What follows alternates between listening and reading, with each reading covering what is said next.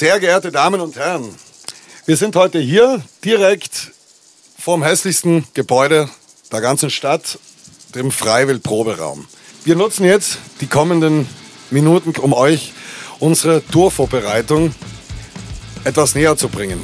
Wir werden euch einführen in die perfekte Welt des Jazz, die Freiwillprobe. Wir werden euch einführen in Statements und Aussagen von Tourmanagern, Managern, sonstigen Crewmitgliedern, Technikern und so weiter. Ich hoffe, wir können euch damit das ganze Ding ein bisschen näher bringen und wünschen euch eine Sache, die für uns ganz, ganz wichtig wäre und für uns eigentlich alles bedeutet. Diese Tour, Feinde deiner Feinde, im November 2012. Seid dabei und zieht euch jetzt das rein, was wir euch zeigen. Eure Band, los geht's. Von der Lied von Lied von der Horizont.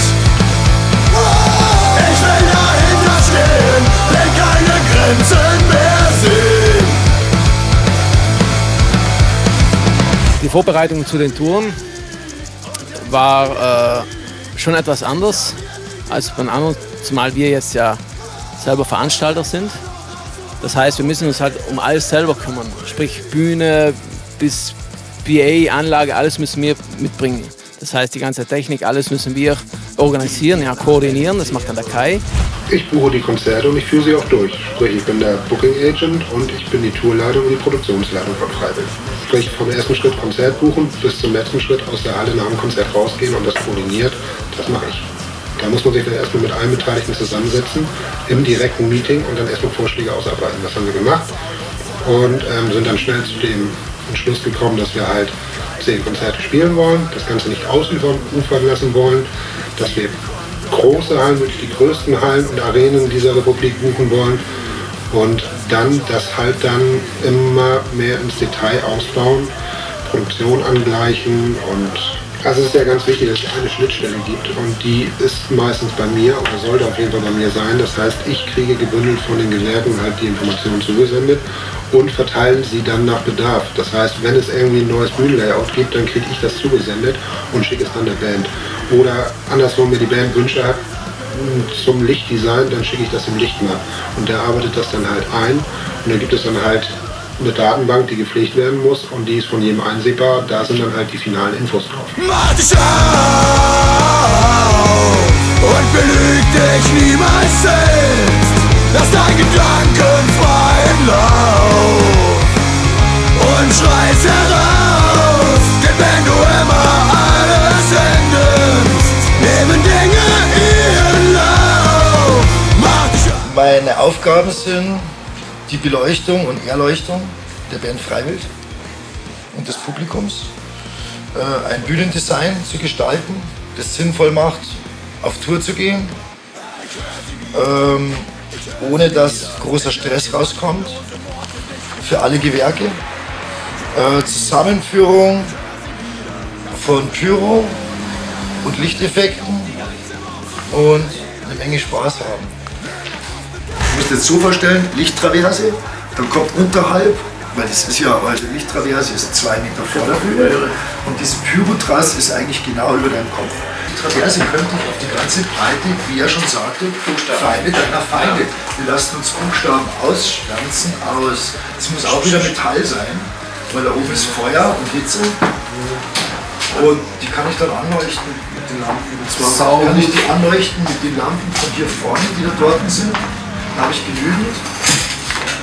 Der Unterschied zwischen Freiwild und anderen Bands ist, dass bei Freiwild das Publikum von der ersten Minute voll da ist. Die Atmosphäre ist besonders gleichen. Die Konzerthallen sind größer. Das heißt, je mehr Platz auf der Bühne, desto mehr muss auch gestellt werden. Es muss logistische Truck Space, Manpower. Es sind viele Kombinenten, die müssen alle unter einen Hut gebracht werden und zwar so, dass es das Gefühl äh, einer Live-Show behalten wird, ohne dass es jetzt zu technisch überfordert wird, äh, dass einfach ein naturelles Gefühl da bleibt. Rock'n'Roll ist gerade und direkt. Eine Lichtshow soll gerade und direkt sein. Nur so bleibt am Menschen am meisten hängen, wenn es unkompliziert ist und mit Gefühl gemacht worden ist. Und das ist Freiwild. Freiwild, die Musik ist mit Gefühl, ist nicht kompliziert, ist eingängig, die Leute haben es im Kopf und genauso soll auch die Show sein. Also es gibt Ticket-Layouts, es gibt Bühnenlayouts, es gibt Merchandise, es gibt Plakate. Alles, was man sich eben um diese Tour vorstellen kann, gibt es auch. Anzeigen für Magazine, zig Sachen. Also man kann es nicht wirklich so in, in, Minuten oder Stunden ausdrücken, weil sich das wirklich, der Prozess, der erstreckt sich über Wochen oder Monate, in denen verschiedene Sachen gemacht werden. Also da gibt es auch immer wieder Änderungen. Also man kann, ich kann das jetzt gerade wirklich nicht in irgendwelche Zahlen fassen. Ich arbeite da insgesamt über ein halbes Jahr, ähm, wo wir immer wieder Stück für Stück an den einzelnen Grafiken arbeiten, bis es dann letztendlich soweit ist, dass die Jungs auf die Bühne gehen und der erste Ton der Tour gespielt wird. Kam trotzdem noch voran. Tut uns leid für die Enttäuschung, es war wohl nicht unser Untergang. Nennt es Zufall, nennt es Plan dass wir die Schuld gepachtet haben. Aus uns ist doch noch was geworden. Wir leben noch und das besser als ihr. Ja, also wir haben im März haben wir äh, zusammen mit, mit Crepe haben wir uns ein Konzept überlegt, beziehungsweise Crepe hat sich das überlegt. Also ein Lichtkonzept hauptsächlich, was ähm, hauptsächlich die Band äh, in den Mittelpunkt stellt. Also wir haben jetzt äh, auf eine LED-Wand verzichtet, weil das einfach ablenkt von der Band. Ähm, und, haben, und werden versuchen, ähm, die Bühne so oft wie es nur möglich ist, ähm, sich verwandeln zu lassen. Also es wird mehr Material mitgehen, es wird mehr Bewegung drin sein als, als die Jahre zuvor. Es wird sich extrem viel bewegen auf der Bühne. Es wird viel Feuer geben, viele verrückte Sachen, äh, viele ausgefallene Sachen, die man jetzt nicht jeden Tag sieht auf irgendeiner Rockshow. Ähm, Genau, aber immer mit dem Hintergrund, die Band muss im Mittelpunkt stehen. Man muss das natürlich immer auf die ähm, Hallen anpassen. Man muss natürlich ein bisschen gucken, dass da ordentlich viel Material dabei ist, ähm, weil die Freiwild-Fans, die sind extrem laut. Das ist, äh, hat mich beim ersten Mal echt äh, erstaunt. Dass man, also die, das Intro läuft, die Band kommt auf die Bühne, die Leute jubeln und man denkt, man hat keine Lautsprecher mehr, weil die Leute so laut sind. Ähm, da muss man ein bisschen gucken, dass man da genügend Luft nach oben hat. Ja, also der Gruppplan steht. Ähm, ähm, wir haben ähm, ähm, so diverse Listen geschrieben, was wir von den einzelnen Hallen wollen. Also zum Beispiel schicken wir jetzt einen Zettel nach Hamburg in die O2 World. Ähm, wir brauchen dies und dies. und da wird jetzt gerade im Moment geguckt, wie das umsetzbar ist. Genau, und äh, im Idealfall machen wir das genauso, wie wir es bisher geplant haben. Ja das, ja, da muss ich jetzt einfach abwarten, was passiert da in den einzelnen Hallen, was kommt da für Rückmeldungen. Und dann geht's los. Er ist der Gast an deiner Seite. Und du wirst niemals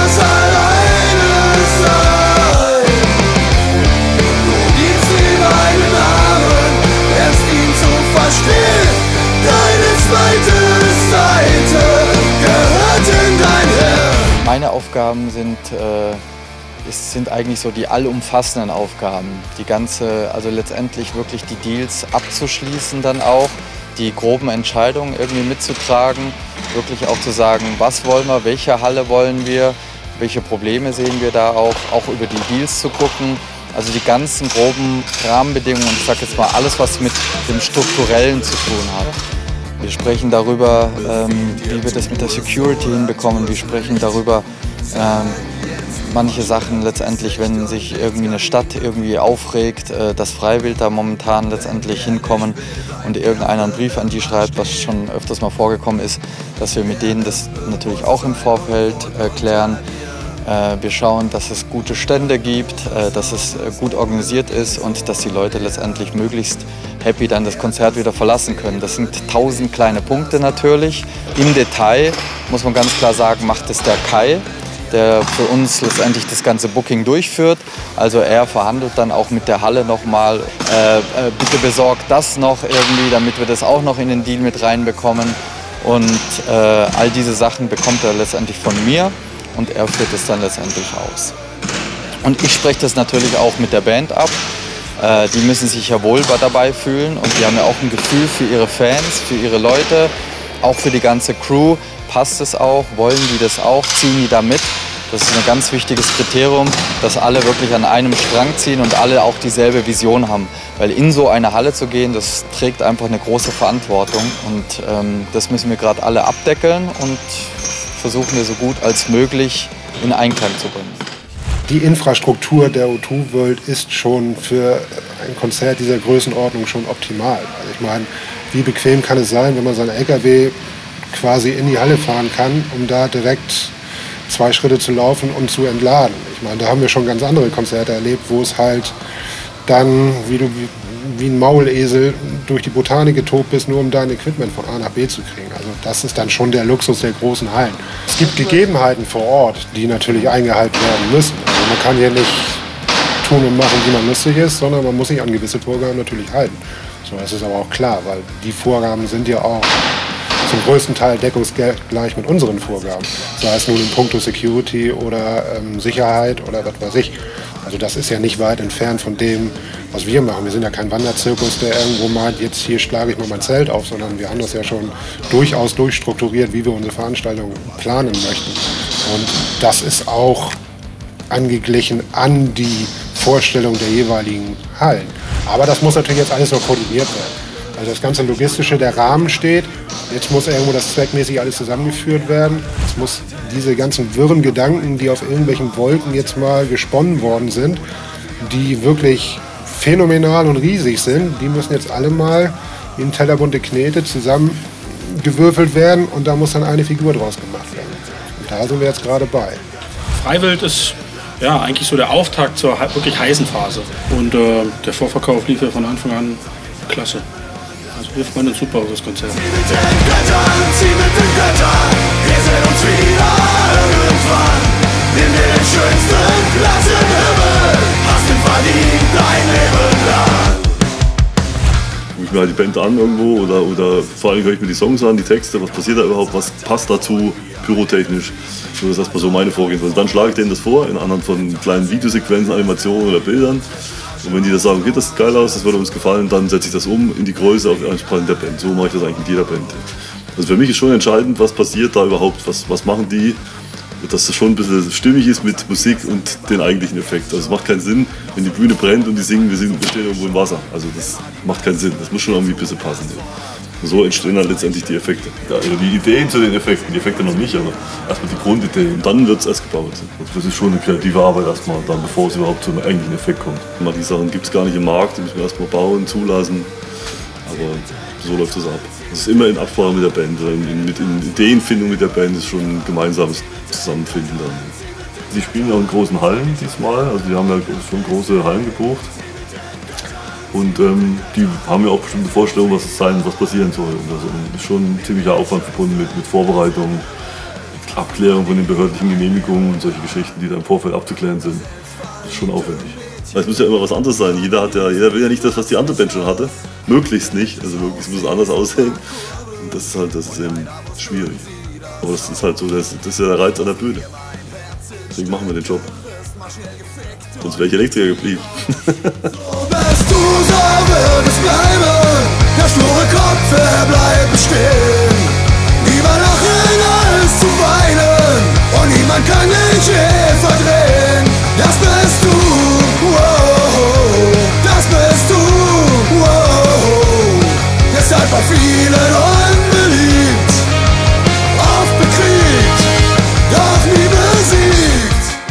Eindruck bis jetzt von äh, zu der bisherigen Vorbereitung ist eigentlich äh, sehr positiv. Also die Mühlen malen langsam, aber sie malen und äh, bis zum finalen Punkt wird alles fix und fertig stehen. Also da sind wir davon, davon sind wir überzeugt. Also wir kriegen das schon hin. Ja, ein großes Highlight für uns und hoffentlich auch für euch sind natürlich unsere Vorbands auch, also Gonzo und Spitfire. Die werden euch von Anfang an richtig den Arsch versohlen und euch richtig heiß einstimmen auf unsere Show.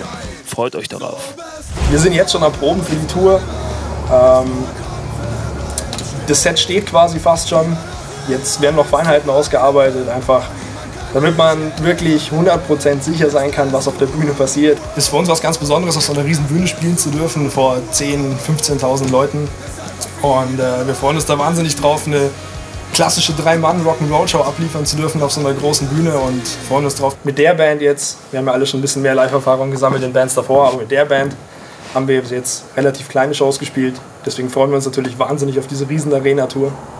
Ich freue mich besonders auf die ausverkauften großen Hallen, auf äh, ja, die, die ganze Aktion drumherum. Freunde unterwegs, wir kennen uns ja seit geraumer Zeit, arbeiten auch schon seit geraumer Zeit zusammen. Und es ist einfach nur eine logische Konsequenz gewesen, mal zusammen auch eine Tour durchzuziehen. Außerdem finde ich auch, dass äh, die momentan heißeste Band im Deutschrock, die momentan wahrscheinlich heißeste Nachwuchsband mit Spitfire und äh, meine Wenigkeit zusammen auf Tour gehen können. Bei uns erwartet den Fan also sozusagen ein Best-of-Programm. Ich weiß nicht, wir werden wahrscheinlich eine Stunde zu spielen haben, das ist noch nicht hundertprozentig abgesprochen. Die werden wir vollpacken von vorne bis hinten mit den besten Songs aus allen Jahren. Ich erwarte mir echt einen heißen Herbst, weil diese Zusammenstellung auch, was die Songs betrifft, was die Geschichte der Musik betrifft, äh, die wir repräsentieren, ist natürlich bis jetzt einmalig, ist vorher noch nie da gewesen. Es erwartet den Fan einfach, finde ich, auf der ganzen Tour eine Riesenparty. Ich, also ich muss mir es ganz ehrlich vorstellen, wenn ich auf das Konzert gehen würde, von Anfang bis Ende durchsingen und durchfeiern, ich bin mal gespannt, wie sich die Leute nachher aus der Halle rausschleppen. Das kann zu Dramen führen, Übernachtungen vor den Hallen und was weiß ich.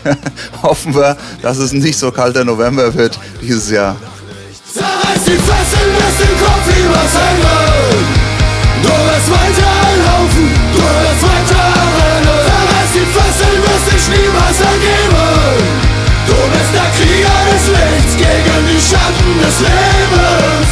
Alles, was drumherum passiert, wie gesagt, kriegen wir nur so am Rande mit. Äh, zwischen, zwischen den Bühnenbildnern, Schlosser, Schmiede, Elektriker, die legen sich da ins Zeug zwischen Grafikern, äh, Videoleuten und, äh, und allem, was sonst noch dazugehört. Ähm, der Fleiß ist da und es läuft eigentlich alles mehr als gut. Jetzt liegt es eigentlich an uns, die Songs zu proben und eine fette Bühnenpräsenz abzuliefern. Und der Preis ist letzten Endes eine gute Show für jeden Einzelnen. Und in erster Linie für uns, denn auch das ist für uns wieder mal so ein Steckenpferd, ganz, ganz vorne liegt für uns. Liebe Feuer und solidarisch treten sie los, fallen nicht rein. Wir werden heute anfangen, uns den neuen Songs zu widmen. Das muss man sich auch ein bisschen so vorstellen, dass wir die Songs zwar vorher geprobt haben, jetzt aber mittlerweile wirklich überhaupt nicht mehr wissen, wie sie gehen. Und diesbezüglich, glaube ich, erwarten uns einige Stunden, bis das neue Set passt. Und warum wir so selten im Proberaum, im Proberaum waren jetzt, das äh, spricht für sich. Wir waren jetzt auf Tour und da ist eigentlich jedes Konzert die beste Probe, die man haben kann, würde ich sagen. Oder? Ja, wir haben ja schon letztes Jahr bei der Christmas Tour hatten wir ja schon einige größere Hallen Deutschlands. Da haben wir mal gesagt, wir testen es einfach mal aus, ob wir die voll kriegen. Und ja, Resonanz, wie ihr gesehen habt, war eigentlich großartig. Und äh, von dem her, der nächste Schritt ist eigentlich, war eigentlich der, eine große Arena-Tour zu machen. Und die findet ihr jetzt bei der Feinde einer Feinde-Tour im November statt. Freut euch darauf. Wir sind da drüben ganz billiges Mischpult. Mehr brauchen wir eigentlich nicht. Wir haben hier über die Anlage, sage und schreibe, vier Dinge zu betätigen. Das sind eins, zwei, drei Mikros und das Mikro vom Führer. Der ganze Rest kommt eigentlich über die Amps. Über die Amps und Schlagzeug ist laut genug, muss nicht verstärkt werden. Ein Kanal mehr noch brauchen wir auch und zwar entweder zum Abspielen des Klicks, weil man muss ja auch irgendwie im Timing bleiben und das erleichtert halt ganz, ganz viel hinterher ähm, beim eventuellen Videoschnitt. Und äh, heute macht was komplett anderes. Wir werden einfach mal ganz am Anfang die Songs direkt aus dem Rechner rausjagen, um dann ein bisschen uns einzurufen und danach hinterher läuft dann nur mehr der Klick. So wird das jetzt Oh!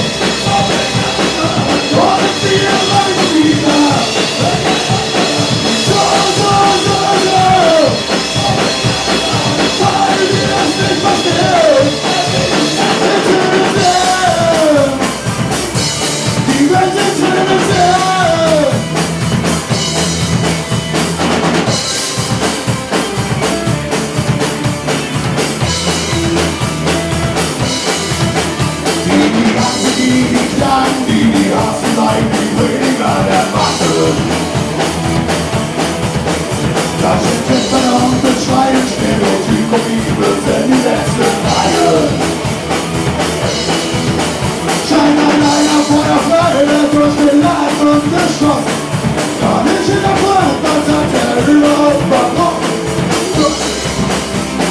Still dabei, das ist das Freiheit und von vornherein immer vor und frei. So, so, so, so. So bin alles an. Und wir sind wieder. So, so, so, so. Weil wir es nicht verlieren. Der Kameramann hat die Schuld, wenn es nicht ganz perfekt war. Nach diesem kurzen Einblick in eine typische Freiwillprobe, die so hochprofessionell abläuft, Unfassbar eigentlich. ähm, werden wir uns jetzt den wichtigsten Fragen stellen bezüglich der Tour. Und zwar geht es um die etlichen E-Mails, die uns so erreichen. Und wir fangen an und beantworten euch einfach diese Fragen.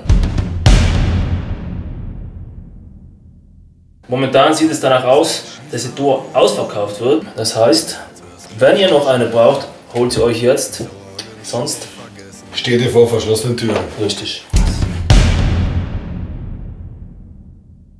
Also wir würden jedem empfehlen, eine erwachsene Begleitperson mitzubringen, denn die Vergangenheit hat gezeigt, dass das Ganze somit äh, problemloser über die Bühne läuft. Bezüglich Event-Team-Tickets gibt es die Möglichkeit, die bei jeder Veranstaltung abends umzutauschen gegen Hardtickets. Somit hat jeder sein Souvenir bzw. sein extra geiles Tickets, Ticket für, für zu Hause später. Zusammen. Als Souvenir. Darauf haben wir Wert gelegt.